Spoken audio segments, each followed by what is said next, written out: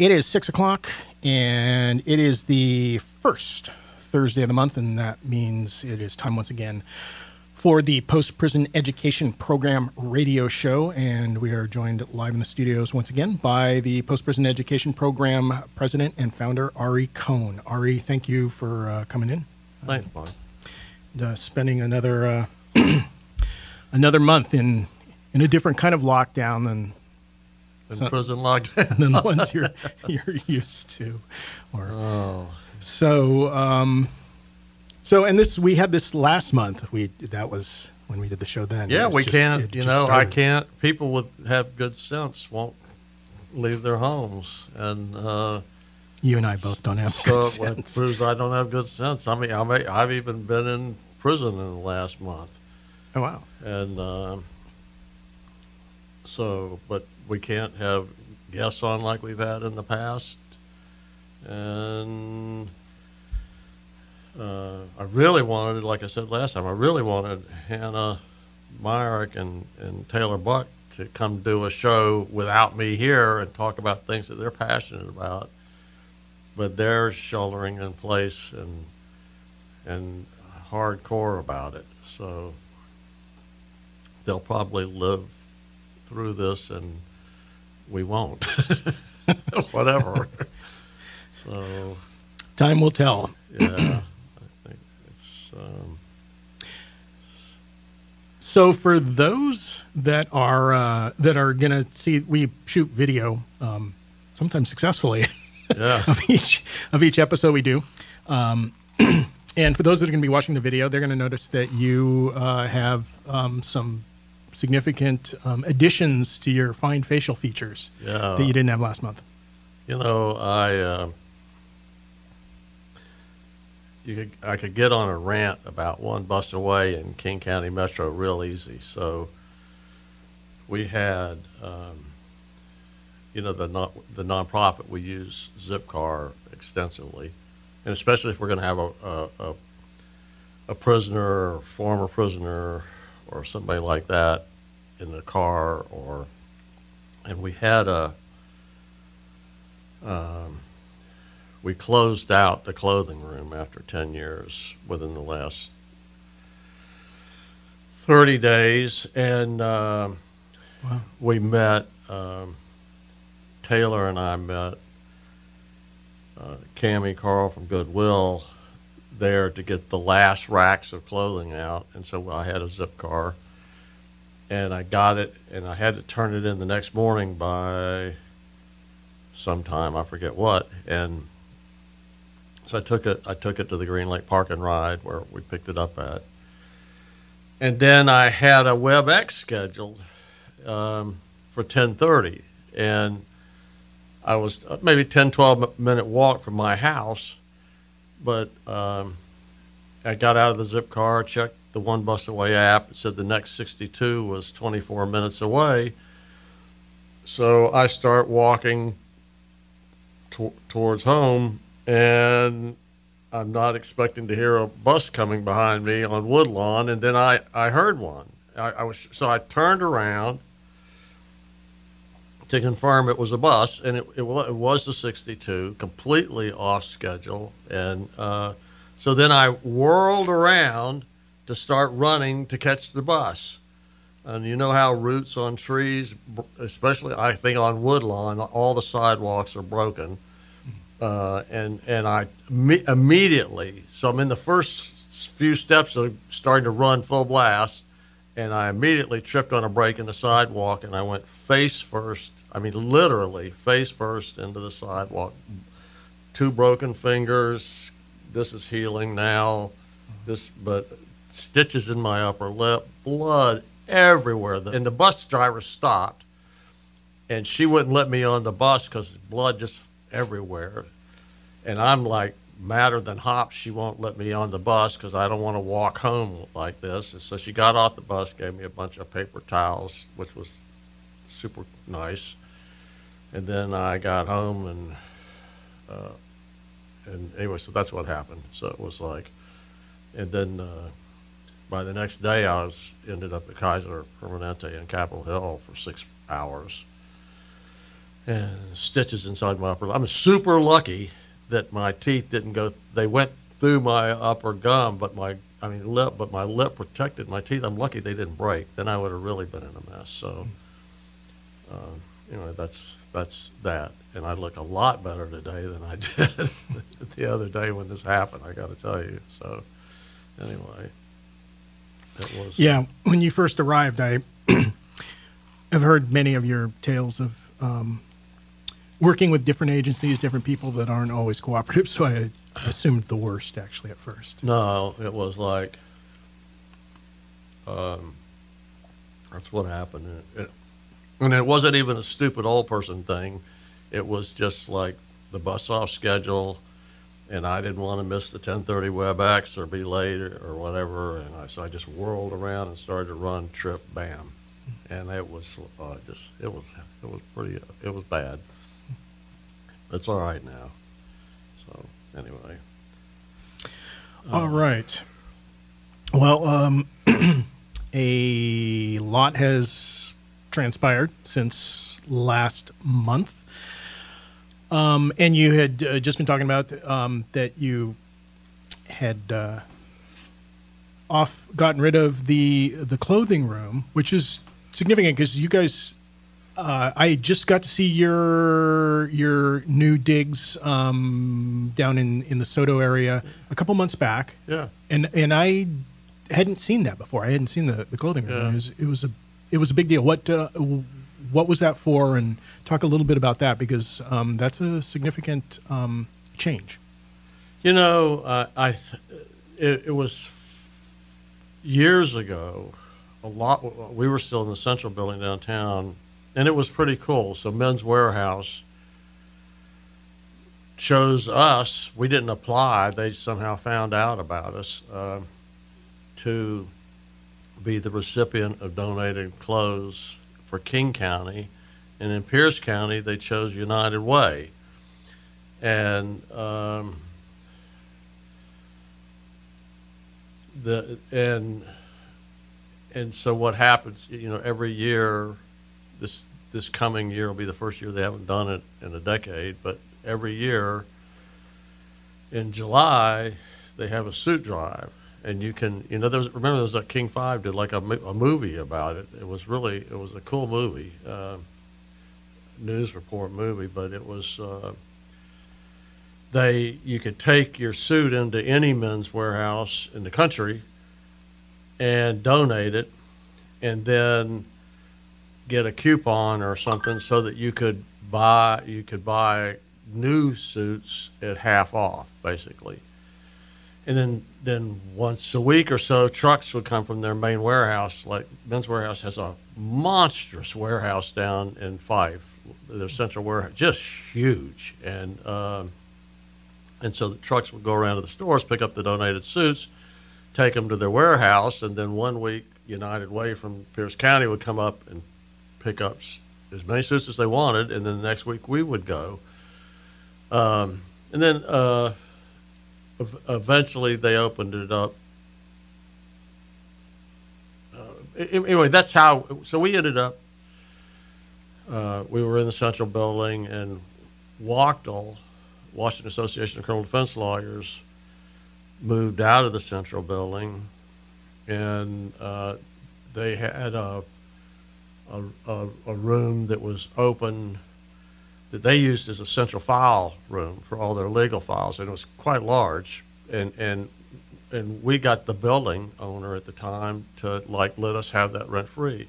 So that that was the clothing room for a long time, and then it and then it was really cool. So like the federal defender's office. This is this is one example. So Mike Filipovic, who's an angel, is the, is the federal defender, um, and his office, uh, the women in his office got PO'd that Men's Wearhouse was donating only men's stuff, and that women's clothes weren't getting donated. So so they called up again a long long time ago. They they called up and would we take women's uh, clothes? And we're like, heck yeah. And and so I remember one time uh, we had we had to take Nicole Polly Davenport and I, uh, we had two cars and we had to make mu- multiple trips over to the federal defender's office at Westlake. And we had to close the women's clothes back uh, up above so you couldn't see out the rear window, which is illegal. And we had to make multiple trips because the women there donated so much stuff. So, so it got to be women lawyers in town. We even had a, a judge who, a Superior Court judge, and she dresses very nice. And she would pull up at the back alley of the Central Building in her SUV Mercedes, um, and donate her clothes. So it, it, and then you know until Dow Constantine and his the clown that used to work with him, I've forgotten his name. I blocked it out, I guess but that when when they made this move to take the federal, I mean the the public defender firms, so uh, Northwest Defender Association, the Defender Association, ACA, SCRAP, and pull them into King County government and, and- until you know and, until that happened, and when we were still downtown, those four nonprofit public defense firms would come down and get whole racks of clothes and take to their offices. So that when people were going on trial, they could look nice, right? Um, and then we had former prisoners who came out of the women's prisons who were taking clothes out to the women's prison. Um, and so, so a lot of people came to rely on that room. And, um, and then, uh, but when we, when we left the central building, um, and moved in moved to SODO, the only space that was um open in that huge building that we're in uh, for the clothing room was too big. I mean, it, and it and so it was about twenty one hundred dollars a month, and with with taxes and shared cost of the building, it got it was like twenty eight hundred a month, as opposed to our cost in the central building is like five hundred fifty dollars a month. So all of a sudden, you're looking at thirty thousand a year instead of six thousand a year.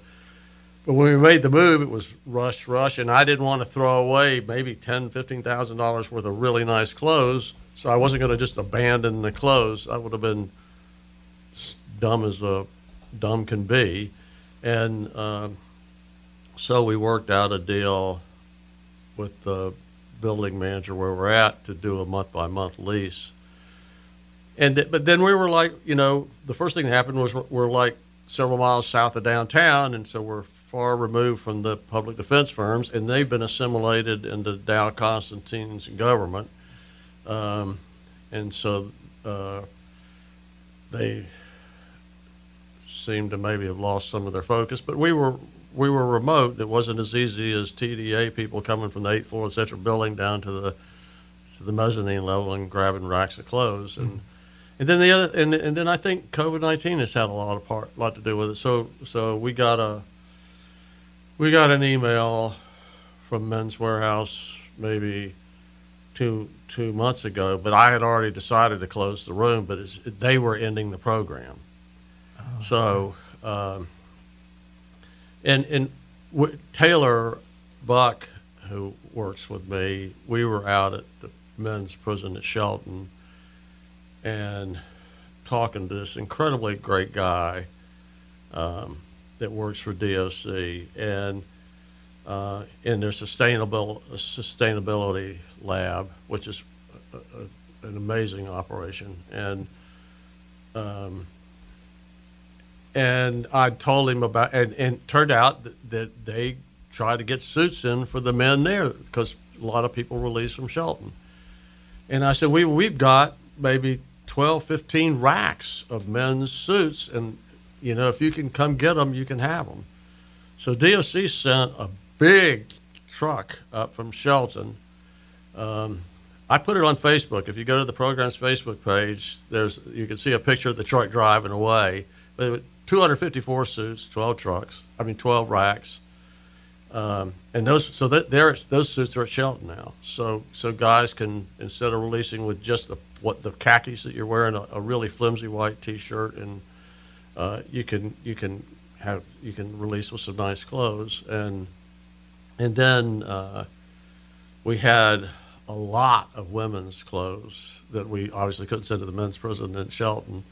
And um, so we contacted Cami uh, at uh, Goodwill, who we've partnered with for a long time, and I've been friends with her since forever, and asked her if Goodwill would be interested. So uh, they came down uh, a week or 10 days ago at, with, with a truck, and we loaded all the adult women's clothes up to go to Goodwill.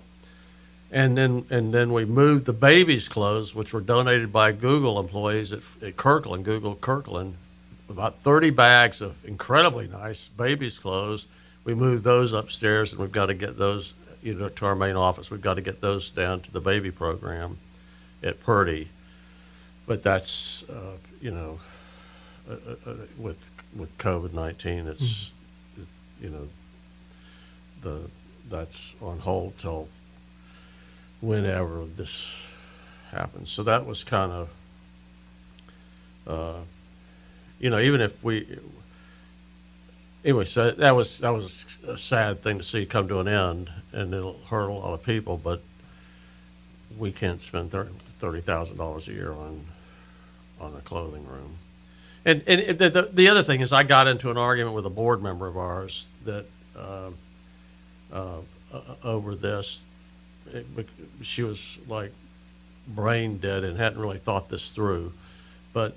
Um, it saved us a lot of money. So if somebody comes out and we didn't have the clothing room, we might send them to Ross and they might spend twelve, fourteen hundred dollars buying clothes, right?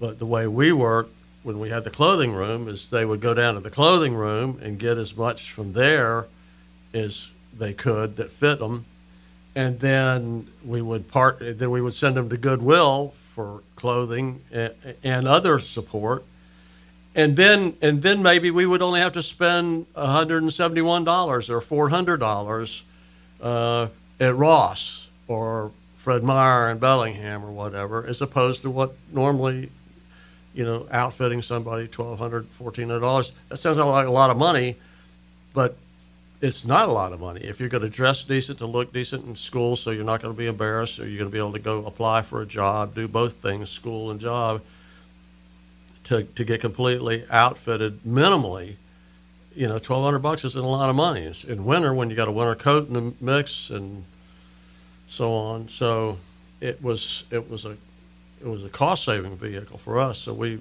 so from the three thousand a month we would have spent uh, uh, for the for the A twenty eight warehouse space of about eleven hundred square feet. Uh, those costs were offset by not having to buy clothes at Ross or as many clothes at Ross or Fred Meyer as otherwise. So it's kind of it was kind of sad, and, and you know, King Five did a uh, fabulous. They did like a news report that turned out to be a movie uh, about it, and uh, they actually watched. They they went down to the prison at Coyote Ridge and filmed a prisoner releasing uh, because they wanted to see him get the Men's Wearhouse suit that they'd seen donated, right?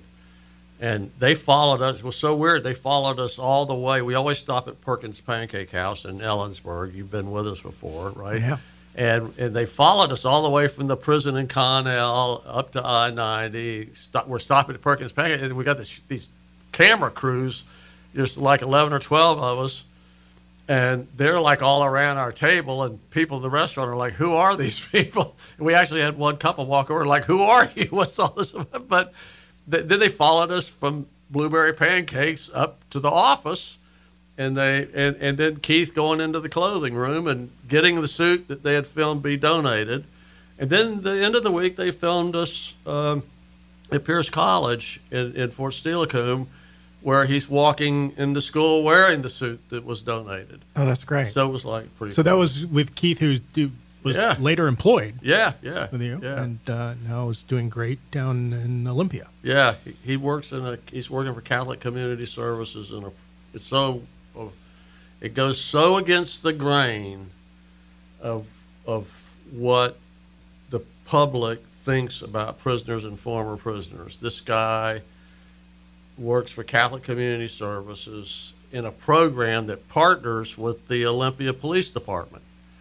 Um, and, and in fact, when I coming out of Shelton the other day, uh, I wanted Taylor to meet Keith, and, and, and they hadn't met, and so I called and had him meet us at Wagner's, and so his boss from the Olympia Police Department came, and um, and, and and so here I'm sitting with Keith, who has like 40 felony convictions. On the negative side, on the positive side, a, a, a four-year degree from Evergreen State College in, in Olympia, and six imprisonments, and and he's part working a, a, great job partnered with the police department, and he's high value, you know. So so we're sitting there eating key lime pie and cherry pie, and police and former prisoners, and and, Taylor with a master's degree in gender studies from Europe, and it was it was good. So it was good. So while we're talking about um, ignorance let's talk about this reporter in the Tacoma News Tribune. Uh, what's his name? James Drew. Uh, D R E W. Um, so when Inslee, um, and it's sad, by the way, to see the News, News Tribune, which was really an ally of ours back in 2006 and 7 when they had completely different editorial people, a completely different political slant, different reporters. Um, a, a, guy who I worshipped and remember fondly, Joe Turner, who's died since his wife's still alive. But um, the News Tribune's evolved into something just ignorant and deplorable uh, since those days. So. Um, and that ignorance came out in a in an uh, article written by this guy James Drew on April 23rd. Um, the article is entitled "State, comma Inmates Attorney Clash Over COVID-19 Early Release Plan," and it was right after Inslee announced the early releases of 1,100 prisoners, and Columbia Legal Services filed a writ of mandamus with the Supreme Court to try to force the DOC to release um, enough prisoners so that the remaining people who were locked up could, could social distance and not die, right? Um, and um, so in, in that environment, this this idiot James Drew, uh, a reporter for the, wrote this horrible article, um, and he, and he was talking about. Um, I mean, he had a he had a set in his mind. Clearly, he had in his mind who these prisoners would be that were going to be released under order from Inslee, and you know, aside from the fact that Inslee, for political reasons, is has ordered the wrong people to be released and excluded people who should be released, and I'll talk about that in a minute. Um, you know, I got and I got to say, I don't know how I I admire Inslee. I think he's doing a great job with what he's doing with coronavirus, COVID. I think I think he's just he and the governor of California, the governor of New York are just exemplary in the whole nation. So I don't know how somebody could be that competent on one issue and on another issue, prisoners, be such an absolute ignoramus. I mean, and be so governed by politics that he doesn't care if people die, and that's what's going to happen. Uh, so, anyway, this guy, uh, this reporter, um, I, I should I should I, should, I need to introduce this. So if people for people who were around in 2008 in in Seattle, Skagit County, you you you should remember that a very seriously mentally ill young man basically rode up and down I-5 one afternoon, shooting people to death. And um, and his name was I, Isaac Zamora, Z A M O R A, and everybody was terrified and uh, and and horrified. including me, you know. Um, in the story initially vilified him and and and then it fell over on his family. So the community where his family lived turned against like his mom which was horrible and wrong at, at a very deep level horribly wrong. Uh, but zamora was so mentally ill I, I mean today he's in the special offender unit which is one of the highest security prisons in the state and it's one that's specifically for people suffering mental illness and based on some recent quotes I've seen in the press, he's still psychotic. Um, and, but in a psychotic episode, out of, you know, you can measure there's levels of seriousness with mental illness, just like with everything, I guess. And, and he's way up there. I mean, I haven't looked to see whether DOC has him as S code five or, or, or, or what, but he's seriously mentally ill and psychotic and not in touch with reality when this happens. And he, he, he killed a deputy sheriff that, that he was friends with, who had befriended him and his family. And, uh, and then he killed people that he didn't even know. So he, uh, you know, and all I can say is, is for people who, who might not understand what serious mental illness is about, like go to Mayo Clinic and on their search line put in schizoaffective disorder and print out the nine or ten pages and sit down and read it. I mean, so that, so that diagnosis is schizophrenia plus bipolar. So either of those things on their own they're, are bad enough, but to have one person have a, a disease that's that's both of those wrapped into one diagnosis is unimaginable. But there's a significant number of people in the general population and in Washington DOC's prisons with that diagnosis and with schizophrenia and that are bipolar and borderline personality disorder and um, and so he so he's he was just not in touch with reality and, and, and a number of people died well one of the people who died was a woman. Um, and her husband uh, was shot twice but lived. And so when Inslee announced the, the, that he was going to release these 1,100 prisoners, then the daughter of the woman who died and her dad, who had been shot twice, are down on the steps of the Capitol and, you know, on the legislative campus in Olympia protesting. And I mean, I listened to the daughter. She did a, a Facebook thing where Facebook Live, whatever it's called, and and um, I sort of stumbled onto her page uh, by I, there was a post that some that I didn't agree with.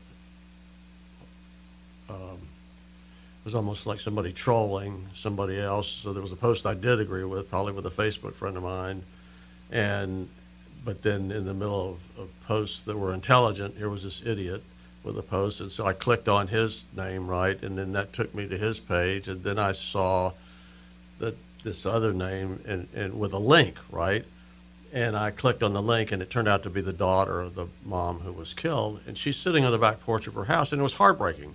As much as I disagree with what the News Tribune wrote and what she was saying and her lack of understanding um, about mental illness uh, and the way they think of and classify Isaac Zamora and people like him um, it was hard to listen to her. She was sobbing and in tears, and it was heartbreaking.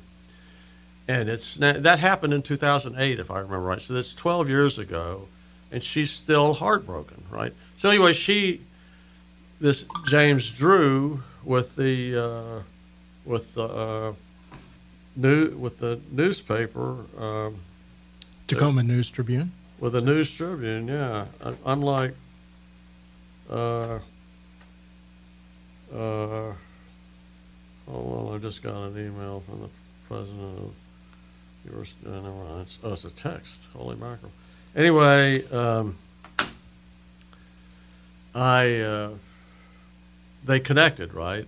And so he made her be the basis for this article that he put out that I referred to a minute ago. And and when he wrote about Isaac Zamora, he there was no background. So people who weren't around in 2000, I mean, with me, I, rem, I, I, the minute I read Zamora, I knew who he was. I have talked to his mom. Back in those days, I talked to his mom. What the community she lived in did to her was outrageous. And frankly, what Chris Gregoire, who was governor at the time, did and how she reacted was just dumb effing stupid and outrageous and unforgivable and reprehensible. So it's like when I saw Zamora's name in this James Drew article with no background, they're just talking about Inslee's. It, he wrote the article as though Inslee had, or everybody that was going to be released on Inslee's order was like Zamora, and he and he didn't say he he might not have even bothered to be responsible enough to check out the story behind Zamora, right? But he, um, I mean, the whole thing back then was so bad. I wrote, I, I had Gregoire's personal email because I was a big donor when I was stupid enough to, dem- to donate to the Democratic Party, I was a big donor, one of the top 30 donors in the state, actually. And, and so when Howard Dean came to town, I was one of the ones in the cocktail party on the top of Smith Tower, right? And, and I wrote Gregoire and Cindy Zehnder, our chief of staff, and said, I want my money back because of the way she reacted to this. So, but what happened was um, he didn't research Zamora at all. He didn't, he didn't put any context. There was no discussion of mental illness. It was just like this vile guy who was recently said, if I get released, I'll finish what I started. And that's just, that's psychotic mental illness speaking, right? I don't doubt that he said that. He probably did say that, but he's super seriously mentally ill, not in touch with reality. And that could happen. Frankly, I wish it would happen to James Drew, right? Um, I do. I really do. And his editors. Uh, so, maybe, so, so maybe they could, somebody in that crew could come away with a better understanding of mental illness. But anyhow, no framing. It was just this horrible guy murdered all these people, shot this young woman's mom to death, um, killed the deputy sheriff, blah, blah, blah, and just didn't didn't frame the issue at all, and and and left readers to believe. You know, in a major, major newspaper that's very well read, left readers to believe that in, that everybody that was going to be released on Inslee's order was like Zamora and, and, and might possibly, I guess, ride up and down I 5 and shoot seven people to death or something, right? Um, I don't know how to even express it. it was, and, and, Taylor Buck in my office went nuts. And, and she, she, wrote, she wrote the News Tribune. I mean, she actually, she, I think she asked me for permission, but if I had said no, I think she was gonna, she was gonna do it anyway and uh, and then it, she wrote James Drew an email and and copied half the Seattle Times and um, and other people. And then when I saw it, and it's on our Facebook page, we posted it. Um, and your website. And we put it on the website. Um, and and and we, I, I I had Hannah put it out on our listserv, uh, Taylor's email, but and, and, and provided the background and and and and put tried to put the thing in context. So so we should just we should switch over um, and talk about who Inslee is having released and and why uh, and who should be released and really, you know, I was thinking on the way over here, just by way of introduction, I uh, the legislature had this huge reentry task force. It was legislated in 2005, and came into force in the beginning of 2006, and it ran for nine months.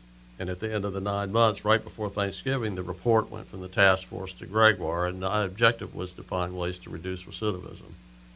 So, uh,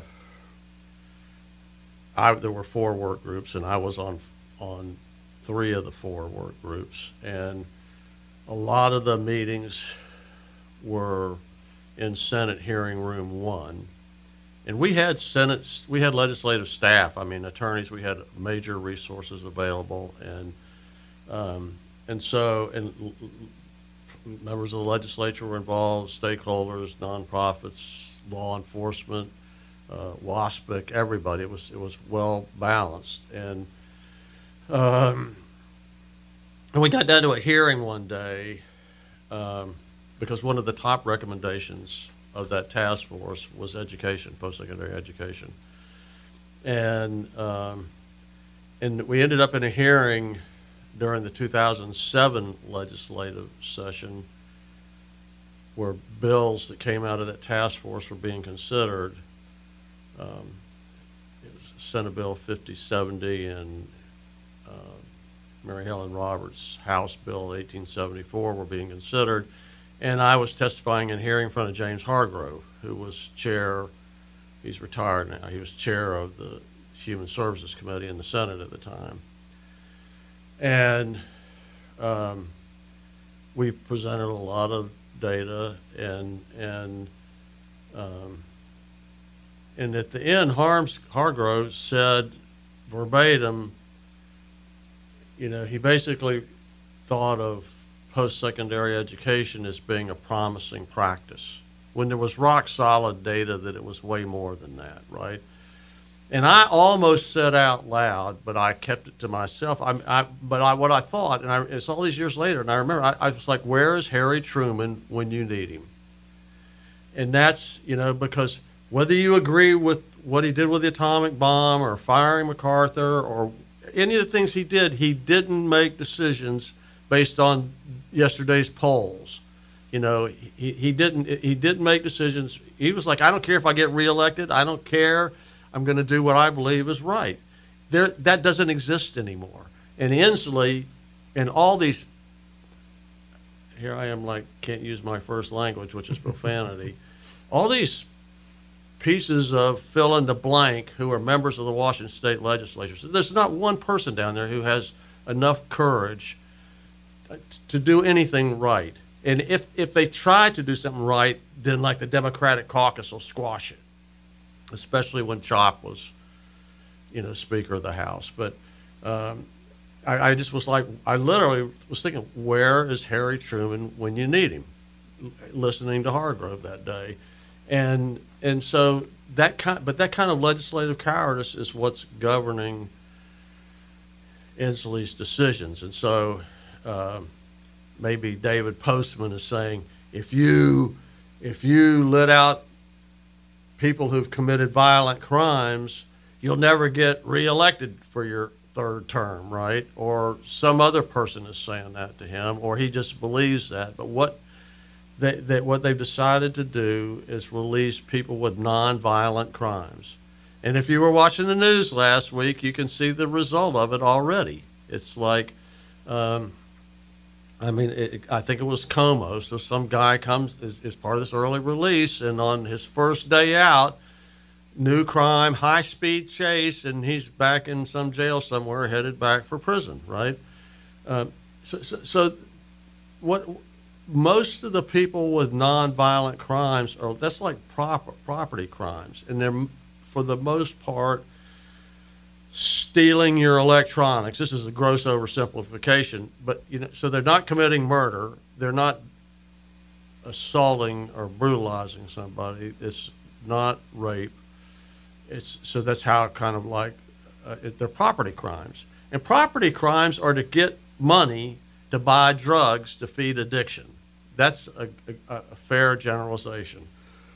So if you're going to release people that are nonviolent, so the public won't get all fired up and you won't have idiots like James Drew from the News Tribune, the I D I O T S idiots like James Drew and his staff and his people that he reports to, uh, you know, raising hell, then you, you know you can say, well, we're only going to release nonviolent crimes, right? People with nonviolent crimes. They're doing that for political reasons because they're considering what the backlash would be if they let loose somebody who who had committed a serious crime. And the fact of the matter is, for example, people who commit first degree murder have the lowest rate of recidivism of all classes of crimes, bar none, period. So if you took a, a, a, a guy, uh, you know, Don, Dawn Wiltjes, who's been on this show before, um, and I have a, a, a, close friend who I'm not going to name, but she did over 30 years in prison uh, against a life sentence before she got out, and she's just living a spectacular life right now. Was so if she was still locked up, and she's been out for quite a while now, and just is a model citizen, doing beautifully well. Um, if if she was locked up now, she wouldn't be considered for early release, but she would have been the best candidate or we're working really closely with a guy. Um, I don't know whether I should name him or not, but I'm going to. Billy Joe Rutledge. So he's in one of the five prisons at Monroe. He's finishing 17 years, violent crimes. He's the he's. I'm going to have him at the University of Washington, winter quarter 2021.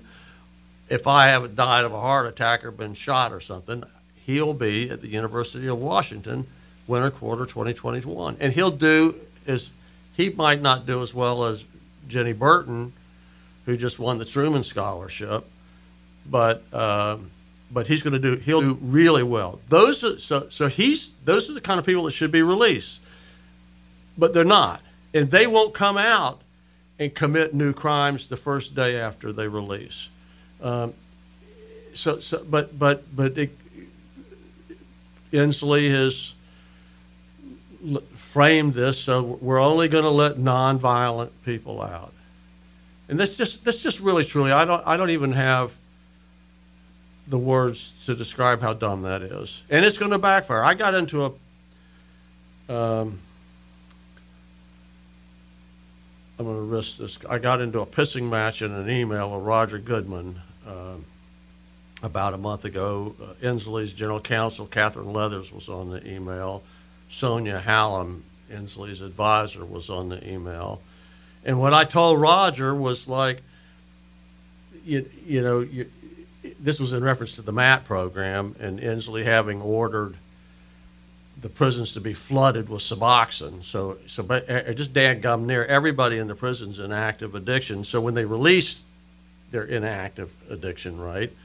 Um, and then they've got to get, they don't have any money, they don't have a job, so they've got to go get money to buy drugs to feed their addiction, right? That's how that plays out. And so where I was I told Goodman, I, I mean, you're going to see this in increased recidivism rates. You know, a year from now or so, data is going to prove you to be the idiot you are, the coward you are. Uh, and, and Jeannie Darneille, every damn one of them. I mean, really. Um, but that so that but that um, that applies to this. It's this is going to right. You know, recidivism has nonstop climbed since that reentry task force in 2006 that was held for nine months to re- figure out how to reduce recidivism. It's, it was about 28% then, and now it's just at about 34%. And what, what's happening now by choosing to release nonviolent people with nonviolent records to appease the, an ignorant public that really is ignorant because Blethen Blethen Incorporated and the News Tribune and the Walla Walla Union Bulletin and, and, so on won't write the truth about who prisoners are. And so, so the public's left to be ignorant, right? Um, and, and, so the, he's, he's appeasing this the voting public by saying we're only letting out these powder puff non nonviolent people, right? And he should be letting out people. I mean, some people in that category who have conquered addiction and managed it and will do well. but they should also be looking at people with, who have violent crimes that were committed 20, 30 years ago, often, you know, and they've programmed like crazy. They've gotten degrees in college. They've gone through HVAC programs. They're clean and sober. They're future envision, envisioning. What they did 20, 30, 40 years ago was a one time thing. It's not going to happen again. Um, and, and, and it's they're the ones that are safe to release. But then, then you're releasing people with violent crime records, and, and which really has nothing to do. It has nothing to do with who they are today, or or or, or is what's a wise decision? You know, should we release this person or this person? And and and so so just it's just led, legislative cowardice. Inslee wants to be reelected. Um, it, you know, and, and, and, and maybe he'll be gone by the time the data reflects how bad this decision is.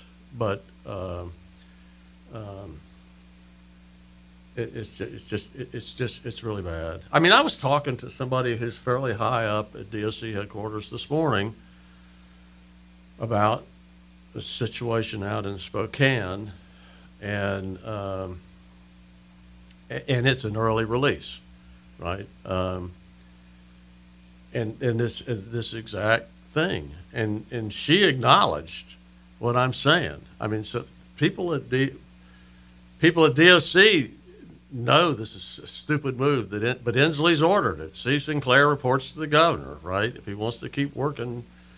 Um, then then he better do what the governor says. So he, the governor wants nonviolent people with nonviolent records released, so that's who's going to get released.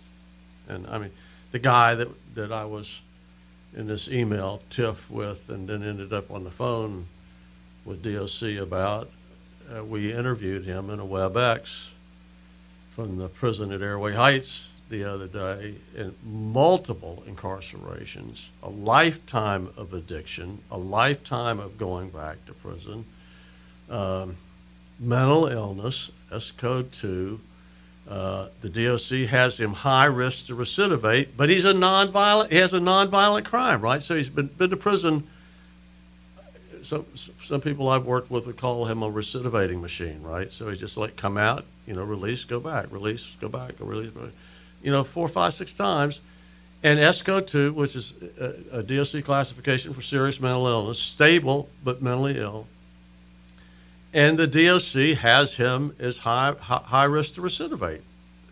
And, but because his crimes are, are basically, I mean, they're all drugs and addiction related, they fit the nonviolent uh, classification that Inslee's ordered, and that's who's going to he's going to release, right? and uh, we'll support. We're going to support him, and we'll have him at Spokane uh, Community College very quickly. But you know, right now in this in the old days, we would jump in a zip car, and, and within 24 hours of his release, we would meet him in Spokane. We would walk the campus uh, introduce him to advising, get him enrolled, take him to Olive Garden for his first meal out, take him to J.C. Penney's for some clothes, put a cell phone in his hand, put a Chromebook in his hand, um, get him a gift card to a grocery store, Winco or whatever's near where he's living. That's all impossible now. Um, and uh, so he'll come out into a world that he couldn't comprehend. I mean, I'm living in this world. You're living in this world. You can't. It's it's surreal.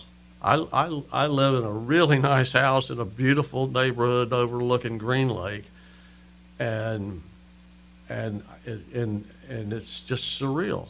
I got I've got this daily routine trying to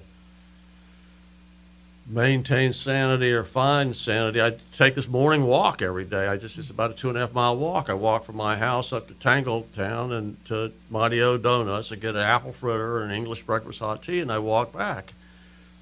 I mean, and yesterday, not one moving car, which is that's unbelievable, and and I didn't pass anybody on any sidewalk. and, and that's unbelievable in the in, in the Green Lake area. That's unbelievable, and and so it's it's just I saw one crow. Usually there's herds of crows following me around wanting donuts and bread and all that, like they're my best friends, right? And and uh, one crow. So it's just it's like he's so he's going to come out into this world where everything's closed, can't get a job, the school camp, the, the schools are closed, you can't get in touch with anybody, um, and you know we'll see. Uh, and you know it's like. Um, and we're down to nine minutes, but it, you know we had. Um, I think every time I'm on the show, I try I say something along these lines, but I've got so many friends and allies that just disparage the DOC to the point you'd think that there's nothing right about the Department of Corrections, and that's just wrong. Um, and so they're out at the prison at Forks. There's uh, uh, I'm a, I'm a, there's there's a counselor who's spectacularly supportive of prisoners, but he's not the only one. But um, he advocate he has advocated for months about um, uh, for this guy who again is a recidivating machine, Native American guy, and and and he just the this guy from DSC basically sort of badgered us into like interviewing this guy. And just because we like this counselor and respect him and we worked with him before, we decided to do it, right? And so we had a WebEx and interview with him, five of us on on the interview. And, and we went into the interview thinking we weren't going to like meeting him and that, that he was going to be like a mentally ill basket case that we couldn't work with, and we all fell in love with him. I mean, really, we fell in love with him and we wanted to work with him, and we made a commitment, right? He released, and he sounded really great. He released to um, Transition House here in town from from the prison out at Forks, and on and he didn't make it one day. Uh, we weren't we weren't able to make contact with him, and so we contacted the lady who runs the house, Lisa Hall, and she and she told Taylor that on his first day he said he was going to the store and he never came back. So he's there's warrants out for him, right? And but that's that's that's that's what's going to happen. You have 1,100 people, many of whom are going to instantly, you know, uh, commit. They're going to commit new crimes, trying to not go hungry, uh, trying to not be homeless on the streets, trying to figure out COVID nineteen environment we're all living in. Um, so I mean, it's just it's, the summary. Uh, bottom line is Inslee's picked the wrong people for political reasons, and frankly, somebody ought to lock his ass up down in Walla Walla and throw away the key and then find somebody responsible to put in the governor's office because he's not it. It's really, I mean, and communities are going to pay the price. So that's it. And that's going to seriously impact any potential other future releases like that. When you assume they're all going to point back to that one, saying, "Oh, well, look what happened when Inslee released those 1,100 people back Yeah. in uh, 2020." Exactly. And no, nobody will differentiate. Nobody, nobody will differentiate.